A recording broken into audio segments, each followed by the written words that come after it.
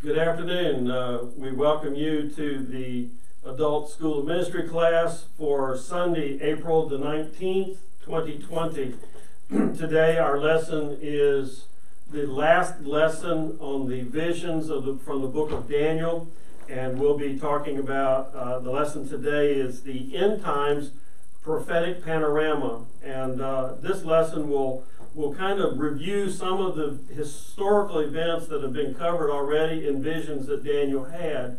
But more specifically, in this particular lesson today, we will actually see uh, more detailed impact on the uh, the Jewish people and their nation between a particular time frame, uh, leading up to the the time of Christ and the birth of Christ. So uh, we, we, uh, if you have your Bibles, and you can go ahead and start turning. Uh, we're going to look at Daniel's chapter 10, 11, and 12. So we're going to cover a lot of verses. We won't be able to read everything today, take too much time, but uh, we will go through the content of the lesson. And uh, I think what, what we, we look at and, and really need to grasp from this lesson today is the subtitle. And that through faith in Christ, we as believers can stand courageously for Him in perilous times. And uh, we, we have these perilous times. Uh, we're living in them right now. And so this lesson, I think, is very applicable to where we are today. Well, before we do that, let, let me just remind you of a couple of things. One, uh, we, we do have drive-through prayer on Wednesday nights from 5.30 to 7. Um, we, we've had uh, four or five vehicles that come through the last two weeks. We had one uh, person gave their heart to the Lord last week, and then uh, last night uh, we, we didn't have as many come through, but those that did come through uh, really received a blessing in prayer and communication and, uh, uh, and just uh, a good time of prayer, but, but just a time of encouragement for those that are going through some perilous times right now. Lost Amen. jobs, lost income, Amen. Uh, fearful, and left encouraged by the Holy Spirit. So remember drive-in prayer uh, on Wednesday nights. Also, we're going to have drive-in church this Sunday. Uh, we had a wonderful time in this last Sunday, Resurrection Sunday, with two services. We had um, uh, a, a, powerful sermon Amen. from Pastor Evenson. Uh, we also had uh, uh, over a thousand people viewing both services Hallelujah. online, and we had almost 500 in the parking lot between the two services. So it, it, was it was a great weekend. So this Sunday is at 10 a.m. Drive-in church here in the parking lot, and um, uh, so be prepared for that. Just remember, we're not going to keep you long from 10 to about 11. Uh, but uh, the bathrooms are not available, so come prepared for that. And uh, we're excited. We hope to see you. We miss you. I, I, um, Amen. I, Amen. I, sent an email to all of you uh, last night. those of you that I have emails on, I had 75 names on the email, and only five of you uh, your emails bounce back. So that's five of you. I'll reach out to you personally uh, and then get your new email address and uh, add you back to the list. So uh, be looking for those updates for me. Uh, Becky and I love you, and we miss being with you in class. Uh, if you're in the Wednesday night Bible study, we miss you so much. We miss you terribly. And we miss you too, Mr. Rush. Well, we, we thankfully, Dad's my audience today, so he's giving me feedback, and you, you can tell that. Uh, but uh, so we're definitely under the number 10 in the classroom, but uh, uh we're having fun doing this. Amen. But at the same time, I sure miss you and can't wait for us to be together again uh, in the study of the Lord, uh, His Word. I miss your comments, I miss your feedback, and so I, I pray that these lessons are a blessing to you. So as we, we mentioned prayer, let's pray and ask the Lord's blessing on His Word. Father, we thank you for this opportunity for us to come together again by way of recording. We ask, Lord, that you would bless your Word, Daniel's chapter 10, 11, and 12. May your Word come forth today. Lord, it's not just historical information, but it is encouragement, Father, Lord, that when Daniel received this, these things were in uh, going to take place after his life was over, past his time of living. And so it was predictive prophecy. But at the same time, we're looking at it back as fulfilled prophecy. We've yes. seen these things come to pass. Mm. Many of the things we talk about today, Lord, we know match secular historical record. Yes. And, yes. the historical records back up the Word of God. Amen. So we thank Amen. you, Father, Lord, for this Word today. Yes. And Lord, we pray, God, that you would give us insight to your Word. Help us, Lord Jesus, to know that, to understand it. We pray for those that are watching today. We pray, Lord, that you would meet their needs, provision, Father, Lord, miraculously. Father, Lord, provide for them, meet their needs financially, physically, emotionally. I pray, Father, Lord, that you would bless them and Father, Lord, that during this time they may grow closer and closer yes. to you. Yes, Lord. In your name we pray. Amen. Amen. As I mentioned, this lesson uh, will mention some of the historical information and events that we've talked about in prior lessons. Uh, but in reading Daniel chapter 10, 11, and 12, uh, it's very important to note that how the Jews' lives and the history are affected and were affected by uh, other foreign kingdoms. And so these chapters kind of dig in a little bit deeper into some of the things that we've mentioned briefly uh, in prior lessons. Specifically, what we're going to see in this lesson today is the wars that are between the Seleucid kingdom and the Ptolemaic kingdom. The Seleucid would be the Syrian uh, kingdom, and the Ptolemaic would be the Egyptian kingdom. And both of these are kingdoms that came out of the uh, ancient Greek empire under Alexander the Great. And we'll come back to that in just a moment. But what we see is the wars between the north and the south kingdom, the Seleucid or Syrian and Egyptian kingdom. We're going to see that Jerusalem and Israel is right in between the two kingdoms. Mm-hmm. So if you look geographically, you've got Syria to the north, you've got Egypt to the south, and Palestine, Israel is the land bridge between the two. So if one is going to attack the other, they have to go through Israel. And so we see that it is uh, uh, direct consequences uh, for the post captivity Jews. So, what, what God is revealing to Daniel is events that are going to affect Daniel and his people in the future. Yeah. Not in his lifetime, but in the future. Okay? And so uh, we see that this lesson is, it, it is, I mentioned, it's predictive prophecy at the time it was given to Daniel and when Daniel wrote it. But now we look back on it and see that it has been fulfilled. So, what this really tells us is that God fights for his people. Amen. And that he will work for their good despite those that are fighting for evil and doing evil things. Amen. So we we we would do well as Christians to remember that God is on our side. Hallelujah. Now, I need to point out something to you chronologically.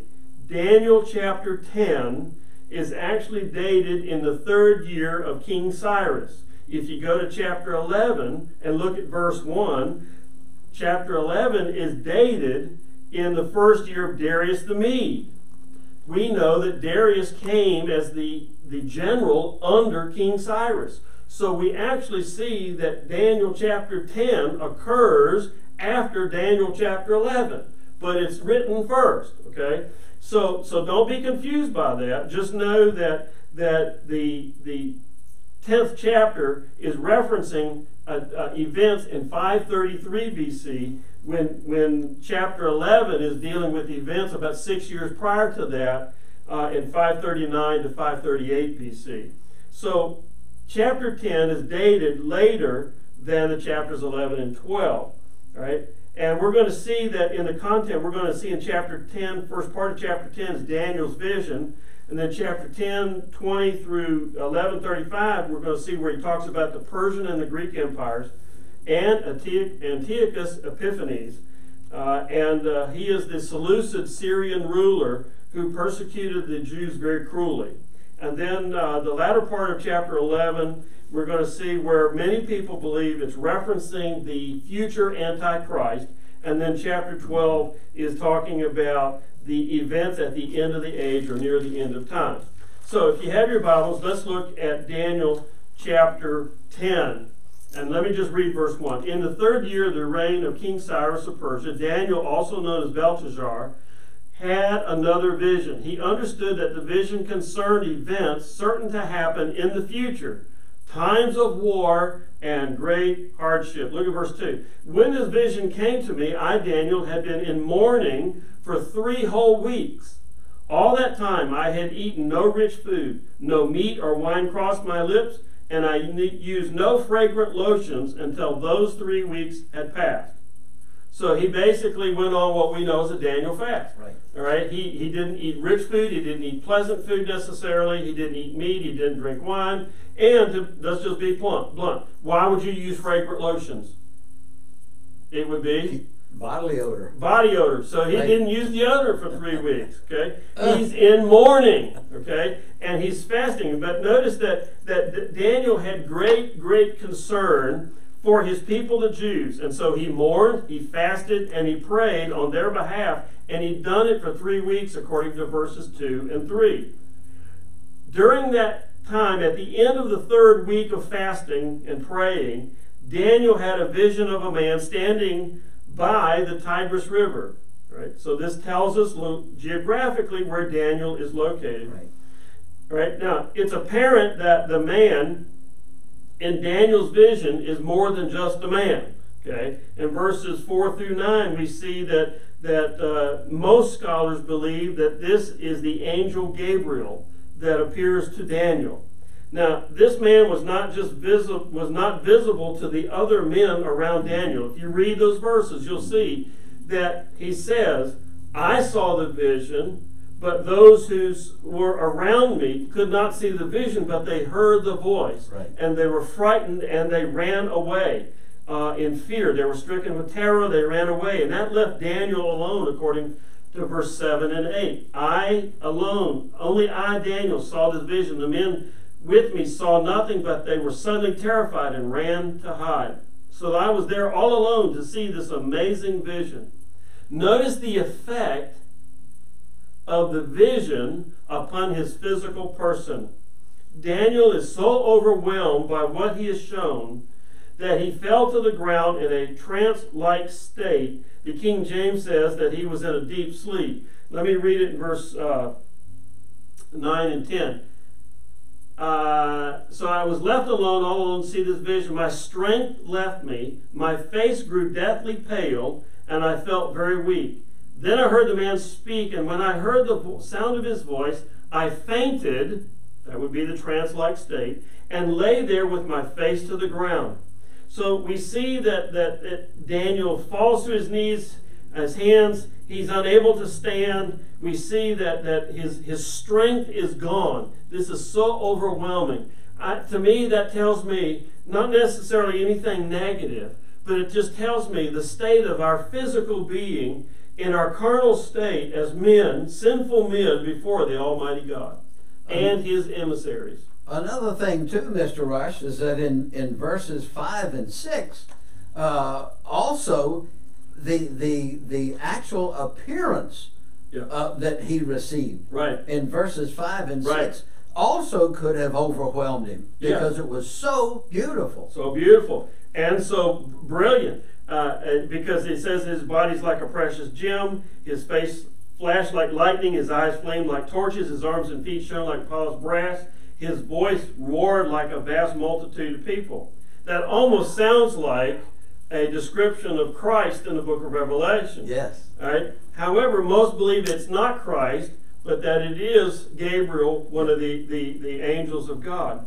Uh, now, notice that that uh, uh, Daniel, the messenger, then reaches out, touches Daniel, raises Daniel to his hands and knees, and that enables him to stand up. Now, he's there, but he's still weak, he's still trembling, Yeah. but the angel helps him up. But notice in verse 10 and 11, just then a hand touched me and lifted me, still trembling to my hands and knees.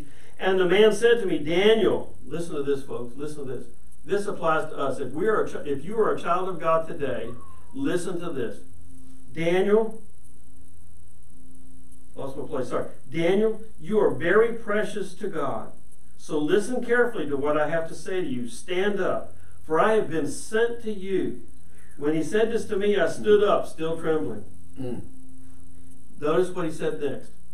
Then he said, Don't be afraid, Daniel. Since the first day you began to pray for understanding and to humble yourself before your God, your request has been heard in heaven. Hallelujah. I have come to answer to in answer to your prayer. Right? So when we look at this, we see that Daniel it was weakened by this in his carnal flesh. He, he just couldn't stand in the presence of God Mhm. and his Amen. emissary, his, his Amen. messenger. Now, in, in chapter 12, I mean, chapter uh, 10, verse 12, down through 11, verse 1, the messenger of the Lord to Daniel provided him information about what had been happening in the spirit realm for the pr- three previous weeks. Right. For the 21 days that Daniel had been praying, seeking God for understanding and humbling himself before the Lord, we see that, that he said, as soon as you started praying, the, your prayer was heard. Okay? Mm-hmm. Notice that. Look at verse 12. Then he said, Don't be afraid. Since you first the first day began praying for understanding, your request has been heard. I have come in an answer. But for 21 days, the spirit prince of the kingdom of Persia blocked my way. Right. Okay? Then Michael, one of the archangels, came to help me. Now, this is not Daniel talking, this is Gabriel talking. So, Michael, the archangel, has to come to help Dan, uh, Gabriel overcome the prince of Persia. Okay? All right? So, we're, we're seeing a battle in the spirit realm. Yes. Okay? Yes. All right. So notice then uh, he comes and I, and notice what he says. I left him there with the spirit prince of the kingdom of Persia. Now I am here. So while Michael handles that battle, I'm here to deliver a message to you. Hallelujah. Now I'm here to explain what will happen to your people in the future, for this vision concerns a time yet to come. So we see that in the spirit realm, Daniel has been fasting and praying for three weeks, and we see that his prayer was heard the very first day he offered his prayer.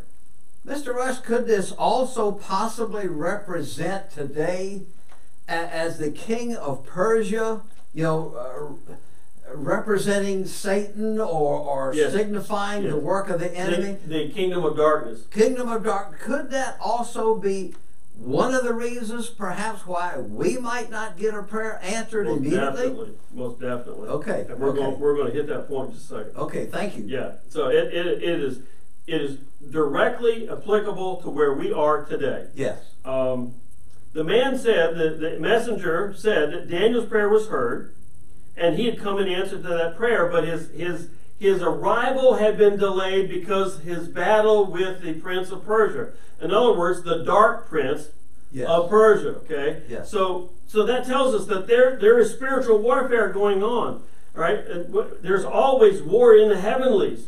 Okay. Because Satan is always after God and His people and to hinder his people. to hinder them. And so we see that the, uh, he was not able to free himself, Gabriel was not able to free himself from the battle until the angel Michael came to help him. Wow. Right? So he then gave Daniel the understanding of what would befall or what would happen to the Jews uh, in latter days. In other words, in, in verse 14, chapter 10, what would happen in the future to him. Now, Bible scholars generally accept that these verses are describing a, a spiritual realm uh, battle between Gabriel and the evil angel representing uh, the kingdom Persia, as we just said. Notice that Gabriel was not able to gain the victory over this evil angel until Gabriel came to help him, freeing him to take Daniel to Daniel the answer. When he got there again, what was the response by Daniel? He was overwhelmed by the revelation being made known to him. He fell down on the ground and could not speak. Verse 15. Okay? So while he's speaking to me, I looked down at the ground, unable to say a word. Daniel could not speak. Right? So the man then touched Daniel's lips, the messenger touched Gabriel, touches his lips, and he was made able to speak, but only to say that his strength was gone. That was all he could say. Only that his strength was gone. So, in response to Daniel, uh, the messenger strengthened him, assured him of God's love for him, told him not to be afraid, spoke peace to him, and strengthened him. All right, uh, these two verses we got to read. Okay, so look at verse 18. Then the one who looked like a man touched me again, and I felt my strength returning. Don't be afraid, he said, for you are very precious to God. Peace, be encouraged, be strong. That's what we say to you. That's what the Holy Spirit's saying to you today. Hallelujah. Don't be afraid. Don't be afraid. You are very precious to God. Peace be to you. Be encouraged and be strong. Now, notice what Daniel says in the next verse. As these words were spoken to me, I suddenly felt stronger and said to him, Please speak to me, my Lord, for you have strengthened me. Even in the midst of this coronavirus Yes. pandemic, Amen. Amen. we can still be strengthened and Amen. hear the voice of God And not be afraid. and not be afraid. Amen. Amen. So we see that that in uh, he's strengthened, and after this, uh, he said that he had come uh, to show Daniel uh, what was uh, going to happen in the future, and that he needed to return to go back to help Michael in that continuing spiritual battle between the prince of Persia and he said in verse 20, after the prince of Persia, the prince of Greece, the evil prince of Greece is going to rise. Because and that flows, folks, in the lessons we've already talked about. Remember, who defeats the Persian Empire? The Greeks, the Alexander the Great, and the Greek Right, Empire. right. So we see that as as one kingdom goes down, another kingdom comes up, and we see that there are there these are secular kingdoms. Yes. They don't know God, Right. and they worship idols, and they're sinful in nature, and they ha- they are represented by the evil princes of those areas. Amen. So the book of Daniel is very, very much about the sovereignty of God. Hallelujah. When we think about that, that means that God is sovereign. It really re- simply means that He is supreme in power and supreme in authority over all things, and He can bring to to pass what He wills in human history. Okay, and and and He will bring it to the conclusion He wills it to be. This is how then that the books of Daniel and Revelation tie together. Um, Exactly, Yeah, and and and written hundreds of years apart. Yes. hundreds of years apart. So, as believers in Christ, living in this last age before Christ comes again, what do you think we've got to do? We've got to be like Daniel. Yes. Daniel was Yes. spiritually alert. Yes. How, how else? Good point. How else would he know to fast? Amen. How else would he know to pray? Okay, how else would he know to mourn? He was alert to the times around him. Yes. And because of that, uh, we need to do the same. We need to do the same. We need to be spiritually alert. We need to pray. We never. We need to not forget that God's kingdom will come. It may appear as if it is not, but it will come. Amen. He spoke it. His will will be accomplished Yes. his will will be done. Now, in Daniel chapter 2, verses uh, uh, 2 through verse 35, we see that we talk about the kings of the south and kings of the north. Now, this message of the man presumed to be Gabriel, as we already said, gives Daniel, he gives him an additional understanding of the scripture or the visions that he'd already given him uh, in prior chapters in the book of Daniel. Now, these prophecies and these verses foretold events that would have very profound effect upon the post captivity Jews. In other words, remember, Daniel is still in captivity. Yes. They have not yet been freed, but we see Cyrus will let them go. And they make th- several returns back to Israel and uh, uh, back to Jerusalem and Judea. Right? But these events in this chapter gives greater detail to that and what's going to occur to them. And we're going to see that the post captivity, this period of history covers 530 BC to 142 BC. So several hundred years are these uh, these uh, events are going to take place. Wow. Now we need to keep in mind that these events that are being foretold happen after Daniel's lifetime. So it's prophetic in the sense that it's predictive, but we're looking back at it as Yes. fulfilled. Yes. okay? Yes. Right? So that's important to know that. Now, Amen. the prophecy that uh, Gabriel gave to Daniel here in this chapter is about a succession of Persian rulers Okay. from 536 to 480 BC. Then, after that, it's foretold of the Greek Empire that follows them, the Greek Empire of Alexander the Great. But we also know from a prior vision, but he gives us more detail now, is that Alexander the Great, in the prime of his height, Yes. prime of his uh, uh, uh, kingdom and his rulership over that uh, kingdom, we see that he dies. His kingdom is not given to his descendants. He doesn't have any. He's a young man. Right. Okay? He doesn't have any. And so his kingdom is divided, the Greek Empire is divided between four of his top four generals. Right. Okay? Right. All right? Now, that makes four kingdoms from one Okay, kingdom. okay. And that's what's talked about in verses 3 and 4. So after this, there would be a continuing war between two of those kingdoms, the north and the southern kingdoms. So the Ptolemaic kingdom of, the, of Egypt, now remember, they're both Greek. They're, they were generals, okay? All right? So the Ptolemaic kingdom of Egypt and the Seleucid kingdom of Syria. Right? So that's Syria's north of Israel, Egypt is south of Israel. Okay? They're both natured, uh, they're both Greek in nature, but they're warring between themselves. All right, so during most of the time, the Jews uh, in Judea were under the benevolent rule of the Ptolemies. In other words, the Ptolemies of Egypt were tolerant and allowed them uh, to, to practice basically uh, what they wanted to. In other words, they, they would be able to perform and practice their faith in God, their sacrifices, their temple worship, those kinds of things.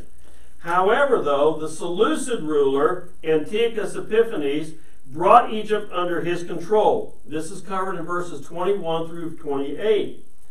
Now, when they came under Antiochus's rule, he really came under the cruel rule. In other words, he was vicious against the Jews. When he returned from Egypt, he attacked Jerusalem. He killed over 80,000 Jews. He took 40,000 Jews to be personal slaves and took another 40,000 and sold them into slavery and made profit from them. Okay? This is described, uh, and, and on top of that, he desecrated the temple. Yes. Okay? yes. All right, so uh, this is all covered in verses 29 through 35, What chapter? chapter 11. Okay. Now, there are four eras of Jewish history between the captivity when the Jews were taken into Babylon and the birth of our Lord Jesus Christ. So, four periods or four eras of history between that. The first one is the Persian era between 530 and 332 BC, when Judah was a Persian province. Uh, and those those Persians were very tolerant. Cyrus let them go home. He let them rebuild their temple. He let them rebuild their city. Uh, they were, and it, basically, he allowed them to govern themselves and to practice their faith. Now, the Greek era, from 331 to 167 BC, is when the Jews in Judea were ruled by Alexander the Great, and his successors, the Ptolemies, who were residing basically in Egypt. Now, under the Ptolemies, the Jews enjoyed peace and security. Okay? But in 167 BC, they came under the tyranny of the Seleucid kingdom to the north, the Syrian kingdom, and specifically under the tyranny of Antiochus Epiphanes. The third era uh, of the Jewish was really their Jewish independence, and that ruled from 167 uh, BC to 63 BC. So for about 104 years, we see that there was peace because the the Maccabees, uh, Judas Maccabeus, the priest, and his sons and others loyal to them, rebelled against Antiochus Epiphanes, and we see that they opposed the rulers uh, until uh, in 142 BC, the Jews gained their independence. Now, the final era of, of Jewish history between uh, the captivity and the birth of Christ, obviously, is the Roman era. And that's when the Jews came under Roman authority and Roman rule in 63 uh, BC. Now, in Daniel chapter 11, verse 36 through chapter 4, uh, 12, verse 4, we see that it talks about the faithful will be outstanding. Now, Bible scholars have varying opinions about the correct interpretation of these verses. Some think that these verses are talking specifically to that time frame only of Antiochus Epiphanes, who very cruelly persecuted the Jews. But others speculate that this is a prophecy not about Antiochus Epiphanes, uh, the Syrian ruler, the uh, Seleucid ruler, but that it's a prophecy about the Muslims and how they take possession of the Holy Land, meaning the land of Israel, in the 7th century AD during the Christian era.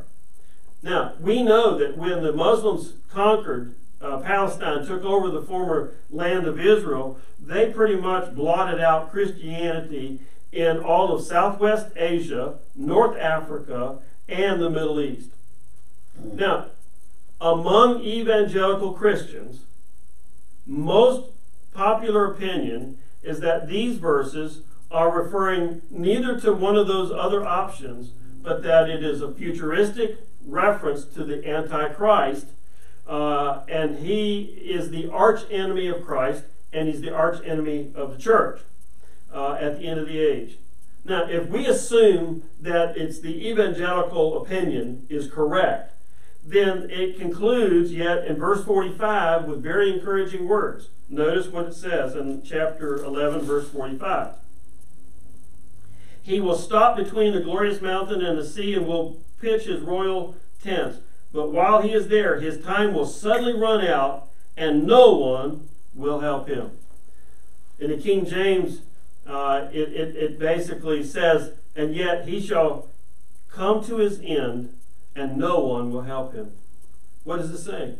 This is saying that the Antichrist, like all the enemies of God, all yes. the enemies of Christ, yes. are doomed to defeat and they're doomed to everlasting condemnation. Christ and his church, his kingdom, the church, will be victorious over all the forces of evil, and there will be no end to our Savior's kingdom. Now, if you look at the first four verses of Daniel chapter 12, it says, and it deals with a time of trouble for the Jews, such as, as there was never since there was in a nation. During this time, in these four verses, we see Michael, the guardian angel of the mm-hmm. Jews, will stand in their defense. Mm-hmm. So this is predictive from Daniel's perspective. And during this time, we're going to see that the archangel Gabriel is the guardian angel of the Jews. We mentioned this a couple weeks ago. And that he's going to come and stand in their defense. And it says that they shall be delivered. Okay? Verse 2 says, that there will be a resurrection of the dead. Look at verse 2. Mm-hmm. Many of those whose bodies lie dead and buried will rise up, some to everlasting life, and some to shame and everlasting disgrace. Also, in verse 3, it says, Those who are wise, in other words, the, wise meaning those who love God, right. and those who live for God, shall shine like the brightness of the firmament. The New Living Translation says, those who are wise will shine as bright as the sky, and those who lead many to righteousness will shine like the stars forever. Hallelujah. Yeah. Amen. In Daniel chapter 12, verses 5 through 13, we see the time of the end, the end times talked about briefly. In verses 5 through 10, we see that God's redemptive purpose is brought forward. So, what is the point of all this? The point is, is that He's going to send his son to redeem the world. Daniel saw two men in this, in Daniel chapter 12, verse 5 through 10. He saw two men, one standing on each side of the Tigris River. Mm-hmm. One of them asked a man dressed in linen, the one that was hovering above the waters, that first man that was hovering above the waters, when these events would take place. The man in, in, that's hovering above the waters dressed in linen says, It shall be for a time, times, and a half a time. Now, I'm going to share a thought with you that maybe is a little different than what you think. Most scholars interpret this as a meaning of the three and a half years, and they see it as referring to the second half of the tribulation period. But I want you to think about something. What is the number seven? God's perfect number. God's perfect number, right? So it signifies what? perfection, completion, complete, right? Okay. yes. What's three and a half? Half of that. half of that number. Okay? So it can also then mean that something three and a half of seven can mean that something is determined, but it's determined for an indefinite time period. In other words, Daniel uh, didn't really understand what it meant. Some of us don't understand what it means. But what he was assured was is that God is working out his redemptive plan. Amen. Okay? And that in that plan in verse 9 he talks about, as a result, he says in verse 10, many shall be purified, made white, and refined. So tribulation causes refinement. Okay? Now, that three and a half, let's go back to that for a moment. It, it could be the three and a half years, the second three and a half years of the tribulation, but it could also signify of an indefinite period of time. So we're not quite sure what that means. Daniel didn't understand it. To be honest with you, I don't know what it means.